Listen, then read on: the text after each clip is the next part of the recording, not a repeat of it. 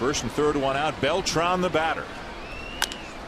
Ground ball hit to second, not hit hard. There's one. Safe at first is Beltran. Schumaker in to score 3 2 Cardinals. A bunt back to the mound. He doesn't get the lead runner. Not covering first base properly. Gives up a base hit or double that scores the runs. But Chad Billingsley at all does not get the double play. And he'll be upset they didn't get it. But it was mainly his fault that he built this inning and lost the lead by a hair there.